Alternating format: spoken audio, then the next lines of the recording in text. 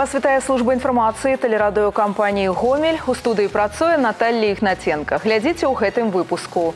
Новы этап барацьбы з эпідпрацэсам. У Беларусі распачалася вакцынацыя супраць COVID-19.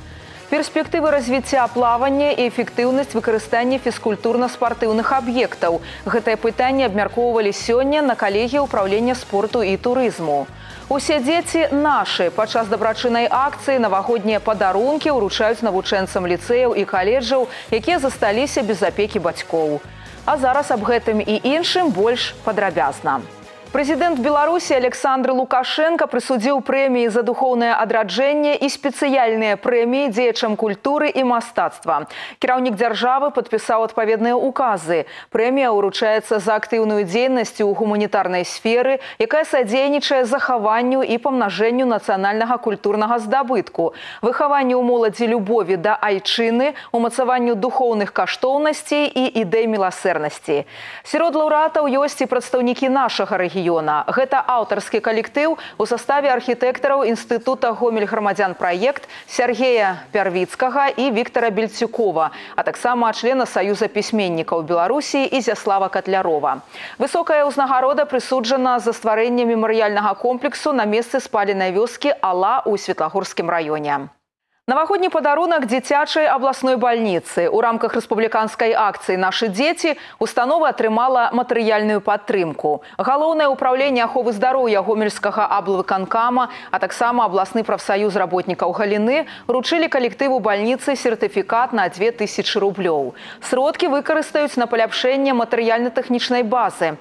Акрамя таго, для дзяцей членаў прафсаюза падрыхтавалі білеты на навагоднія шоу у драматычным тэатры і ў тэатры ля лялек. Госці установы адзначаюць, пакінуць без віншавання ў тых, ад каго залежыць жыццё і здароўе дзяцей, немагчыма. Хотелось бы своих медицинских работников поздравить с наступающим Новым годом, с Рождеством, пожелать э, на сегодня здоровья, успехов, э, счастливых праздничных дней, улыбок э, и чтобы поменьше хлопот было в новогодние праздники. Актыўны ўдзел у акцыі нашы дзеці прымаюць дэпутаты палаты прадстаўнікоў нацыянальнага сходу Рэспублікі Беларусь. Прычым яны не толькі наведваюць масавыя мерапрыемствы, але і прыносяць падарункі дадому. Працяг тэмы ў наступным рэпартажы. Адрас гэтай сям'і дэпутату Ірыне Даўгала падказалі ў адміністрацыі савецкага раёна Гомеля. Упершыню яна прыйшла сюды ў снежні мінулага года. На гэты раз дзеці звярнуліся да дзеда Мароза з просьбай падарыць спартыўны мяч, навушнікі і цацку, якая расказвае казкі і спявае песні. Асаблівая ўвага чатырохгадовай Сафіі пасля перанесенага захворвання дзяўчынка стала інвалідам. Сёння бацькі кажуць, ёсць станоўчая дынаміка. Яшчэ адна прыемная навіна. Сын Дзяніс, які займаецца плаваннем, перайшоў у спартыўную школу. Крыху пазней Ірына Даўгала заўважыць. Калі размова ідзе аб дзецях, неабходна не чакаць цуда, а рабіць яго. Хочется еще больше отдать и добра, и подарков, и даже не то что частичку, а отдать просто свое сердце. И хочется, чтобы всем детям всегда улыбался Дед Мороз и дарил свои подарки, чтобы добра хватало абсолютно на всех, а его не бывает много – и акция, которая столько лет в нашей стране, наши дети, а это наши дети. Пусть у каждого будет свое новогоднее чудо Яшчэ одно мерапрыемства ў рамках акцыі нашы дзеці арганізавана аддзелам адукацыі адміністрацыі савецкага раёна гомеля сярод запрошаных школьнікі якія добра вучацца і з'яўляюцца актыўнымі удзельнікамі алімпіяд а таксама выхаванцы прыёмных і апекунскіх сем'яў прычым на гэты раз традыцыйным сцэнарыем арганізатары не абмежаваліся напярэдадні новага года ў навучальных установах раёна правялі конкурс пернікаў усе кандытарскія вырабы падора дзецям якія знаходзяцца ў бальніцах а таксама медыкам у якасці падзякі за іх працу у нас была идея имбирного пряника. Это традиционный рождественский новогодний пряник, который вот, ну, как бы некое пожелание в себе несет. И, который, и каждому прянику мы прикрепили тоже пожелание, пожелание здоровья, счастья, успехов в будущем году. До профессийных артистов наставники звертаться не стали. Спектакль по мотивах народных казок падрыхтавалі навучэнцы устаноў культуры. Атрымалася цікава і відовішна і дадало добрага настрою. Сёння ўсе чакаюць ад новага года толькі прыемных падзей. Сімвал 2021 запэўнівае ўсё так и будет. Я думаю, он будет хорошим, счастливым, радостным. Будет достигнуто много чего нового. Э, много счастливых людей будет и успехов у них. Я как символ Нового года поздравляю всех с наступающим Новым годом. Желаю счастья, здоровья и всего самого наилучшего. Олег Сенцюров, Ольга Коновалова, Евген Макенко, телерадиокомпанія «Гомель». Да рэспубліканскай акцыі нашы дзеці далучыліся і прадстаўнікі беларускага саюза жанчын. Яны наведалі гомельскую абласную дзіцячую бальніцу медыцынскай рэабілітацыі. Дзецям ручылі салодкія і карысныя падарункі, а таксама зладзілі навагодняе прадстаўленне. Падрабязнасці ў наступным сюжэце. У ролі кота Базіліо, Карабаса Барабаса, Бураціны, Мальвіны і іншых казачных персанажаў студэнты гомельскага медыцынскага каледжа. Яны штогод ладзяць святочныя спектаклі, у якіх дабро абавязкова перамагае зло. Гледачы дзеці, якія знаходзяцца на лячэнні у гомельскай абласной дзіцячай бальніцы медыцынскай рэабілітацыі і іх бацькі. Сказка была очень интересная, она мне очень сильно понравилась, и впечатления были радостные, новогодние. А кто больше всего понравился тебе? Мне не все понравились в Максик, этой кто- сказке. Максик, кто тебе понравился больше всего в сказке? Балаш, Дед Мороз? Да. А кошка тебе еще понравилась? котки это. Кошка понравилась еще, да? И собачка с косточкой. Да. Очень было все красиво и празднично. Э, Принесли действительно новогоднее настроение, потому что скучали по дому, скучали по дому, а сейчас очень хорошо и весело стало на душе. Ну, завтра уже домой. Ребенка не было как раз утренников, получается, мы уехали сюда до всех утренников 16 числа, поэтому это очень радостное было событие. Она все время утро все ждала, праздничное настроение, так сказать, уже готовилась, наряжалась.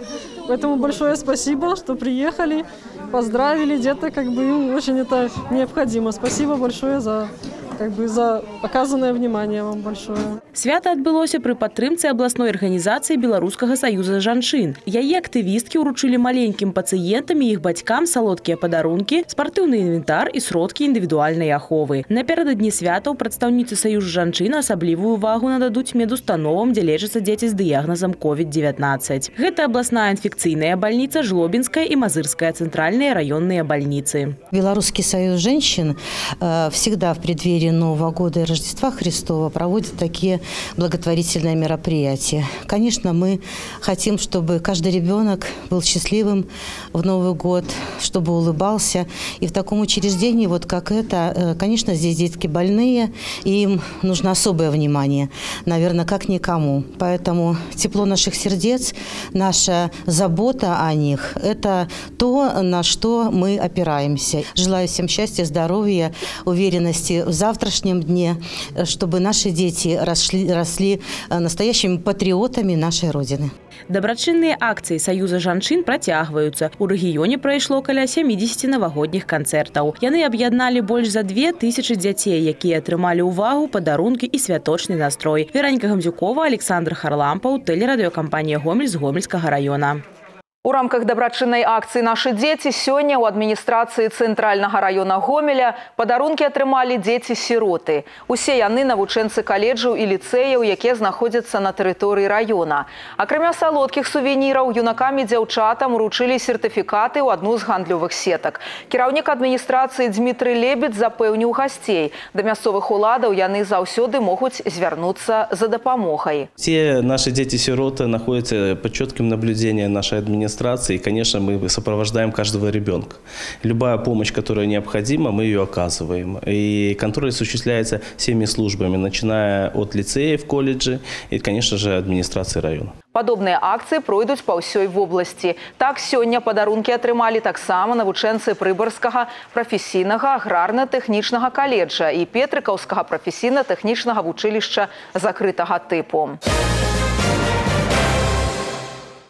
Перспектывы развіцця прафесійнага плавання і выкарыстання спартыўных аб'ектаў. Сёння на калегіі ўправлення спорту і турызму гомельскага аблвыканкама прааналізавалі актуальныя пытанні развіцця галіны. З агучанымі прапановамі азнаёміліся нашы карэспандэнты. Нельга сказаць, што з развіццём прафесійнага плавання сітуацыя на гомельшчыне крытычная. На апошнім чэмпіянаце краіны, напрыклад, каманда в обласці заняла другое месца. Што тычыцца базы, яна таксама нядрэнная. Трэніроўкі спартсменаў праходзяць у 18 установах. З улікам груп пачатковай падрыхтоўкі ў займаюцца больш як 2400 чалавек. Разам з тым, калі на рэспубліканскіх чэмпіянатах мы атрымліваем узнагароды, то ў спаборніцтвах рангам ніжэй з высокімі вынікамі ёсць праблемы. Чемпионат это, скажем так, взрослые спортсмены, но есть еще и среднее звено, то есть спартакиада, УДН, там, где дети выступают.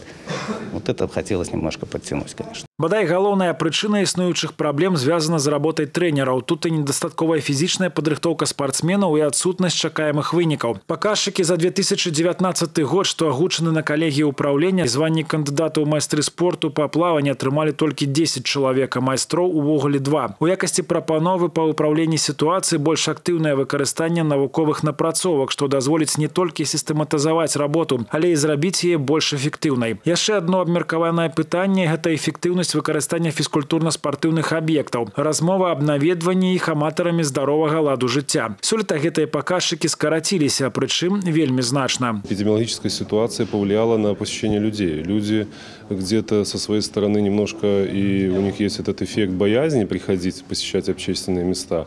И мы это видим в цифрах. Если мы в 2019 году посещаемость учреждений спортивных было порядка 91 и выше процента, то в этом году мы видим, вот по итогам 9 месяцев посещаемость составила 65,7 процентов. Вот. Поэтому, пользуясь случаем, я хочу э, сделать такое объявление и сказать, что спортивные объекты – это одни из самых безопасных объектов в регионе. Они намного безопаснее, чем объекты общественного питания и какие-то другие, потому что там принимаются все меры для того, чтобы обеспечить людям именно здоровый досуг с соблюдением всех мер безопасности. Олег Сенцюров, Максим Савин, Евген Макеенко. Телерадиокомпания «Гомель». У Беларусі стартуе масавая вакцынацыя супраць COVID-19. Першымі будуць вакцынаваны медыцынскія работнікі, педагогі і спецыялісты, якім у сілу асаблівасцяў прафесіі даводзіцца шмат кантактаваць з людзьмі.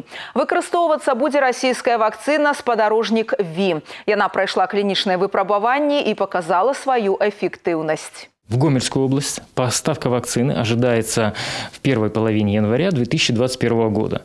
В настоящее время проводится организационная работа по планированию, по подготовке вакцинации против коронавирусной инфекции.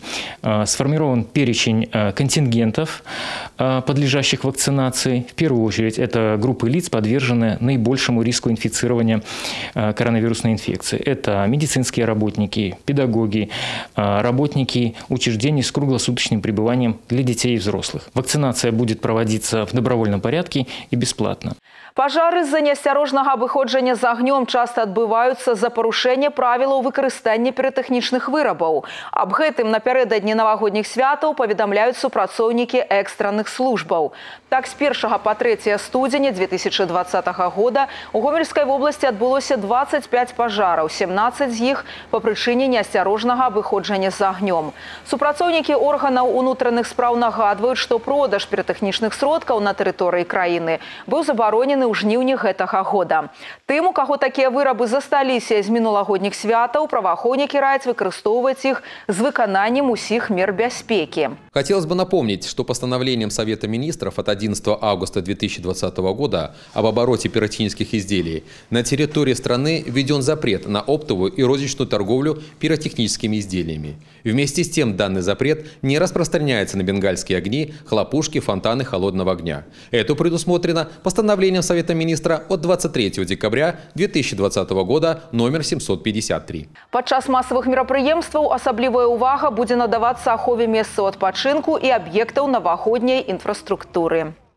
У гонар 55годдзя прадпрыемства гомельскі хімічны завод устанавіў на сваёй пляцоўцы манумент гранулятару па вырабе мінеральных удабрэнняў. Гранулятар неад'емны атрыбут хімічнай вытворчасці. Практычна ўсе існуючыя установкі па вырабе грануляваных удабрэнняў выкарыстоўваюць падобныя апараты. Абсталяванне, якое ў гонар юбілею завода стала помнікам, дэманціравалі ў цеху двайнога суперфасфату. Зараз гэты гранулятар частка гісторыі. Ён спраўна адпрацаваў больш як 40 годов. Конечно же, э, инновации э, не стоят на месте. На, э, вместо его сейчас установ... закупленный в скором будущем будет установлен совершенно нового типа аппарат, но от данной охладитель, барабан-охладитель установлен здесь. И я думаю, еще будет радовать глаз многие-многие годы нашим работникам и гостям нашего завода. У гомелі ўзнагародзілі пераможцаў і прызёраў абласнога конкурсу творчых праектаў юны блогер у актавай зале гомельскай абласной бібліятэкі імя леніна сабралася каля 50 хлопчыкаў і дзяўчынак у будучыні яны мараць звязаць сваё жыццё з блогерствам і журналістыкай для многіх перамогаў адной са шматлікіх намінацый конкурсу стала нечаканасцю олег кавалёў вучыцца ў гомельскім аўтамеханічным каледжы праводзіць стрымы на ўласным youtube канале вядзе прамыя трансляцыі з онлайн гу гульняў. Перамогу ў конкурсе прынёс ролик про аўтамеханічны колледж. Победа была неожиданная. Я, вот, если честно сказать, я спал. Мне, мне звонят, раз пять позвонили. Говорят, ну ты это, третье место занял. Я говорю, ну, я не ожидал совсем. Ну, значит, э, видеоролик был э, отправлен на конкурс про мой колледж автомеханический, то есть какие есть на нем профессии. Там особо я ничего не рассказывал. Мы брали, то есть ребят просили, чтобы они делали, как вот на мастерских, если работали за станком, и мы вот показывали, и уже закадровый голос рассказывал про, что там станочники там на токарных станках работают, ну вот такое вот.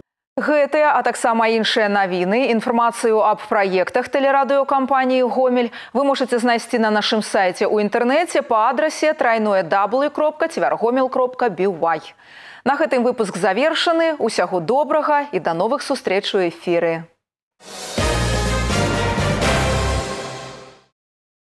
Де-факто на телеканале «Беларусь-4» в студии Александр Гамоля. Здравствуйте.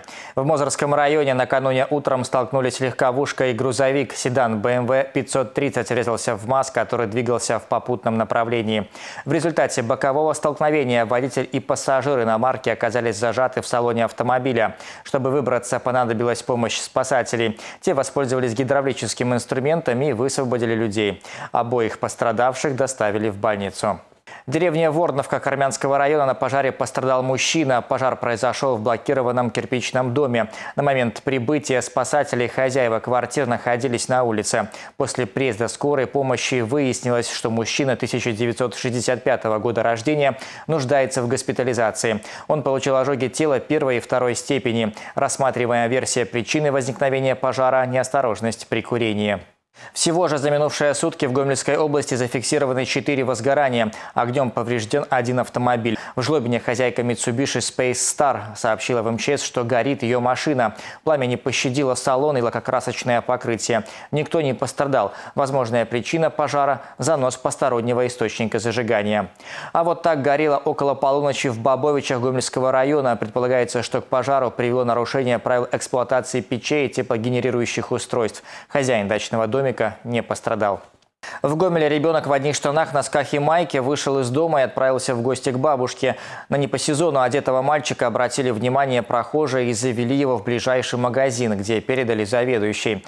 Там семилетнего Сашу, так зовут юного путешественника, обогрели, напоили чаем и нашли теплый свитер. И позвонили в милицию. Первыми отреагировали сотрудники ОМОНа, затем на место прибыли сотрудники ИДН. Саше дали куртку и на руках занесли в служебный автомобиль. Вскоре машина приехала к дому его бабушки. В целом история закончилась благополучно, однако матери семилетнего ребенка придется ответить на вопросы комиссии по делам несовершеннолетних. На этом все. Я Александр Гамоля. Благодарю за внимание. До свидания. На телеканале «Беларусь-4 Гомель» новости спорта в студии Максим Савин. Здравствуйте. На мажорной ноте представители Гомельской области в экстралиге хоккейного чемпионата Беларуси завершили календарный год победами.